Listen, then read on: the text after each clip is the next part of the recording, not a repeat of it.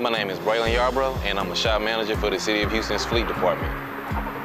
As the shop manager, it's my duty to ensure that everyone's working in a safe manner, that we're being productive, and that we ensure quality repairs.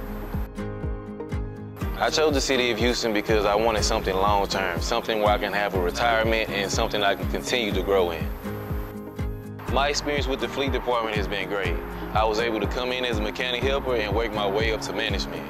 So I've been able to work at multiple service centers and learn multiple operations. I've been able to get different sets of skills like leadership skills, uh, decision-making skills, communication skills. I was able to sharpen my skills as a diagnoser. I was able to grow a lot. I came here as a mechanic helper, and as you see now, I'm a shop manager. So I was able to grow through every level as a technician from a helper to one, two, and three.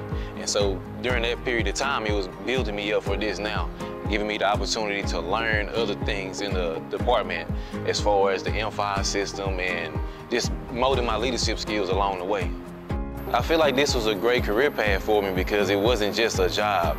I could see the levels of growth and uh, different promotions that I could have even as a helper. We don't only build careers, we also build character here. So everyone is, is like united here.